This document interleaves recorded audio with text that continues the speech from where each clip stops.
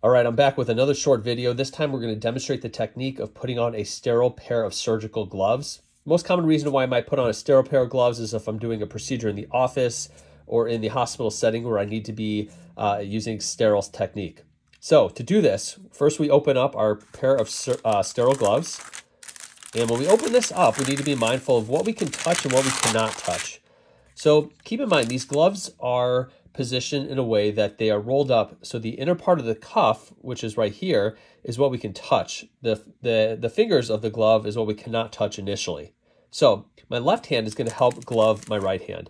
And you can see I'm only touching the inner part of the cuff. This is the part that's going to be against my wrist of my right hand, and this is not considered sterile.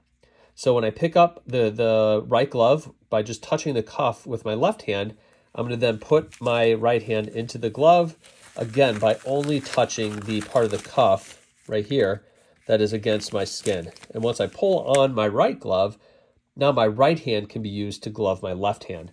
So with my right hand, I'm going to grab the uh, left hand glove, and my left hand, again, only can touch the inner part of the cuff. If I touch where the fingers are, again, I'm going to break sterile technique.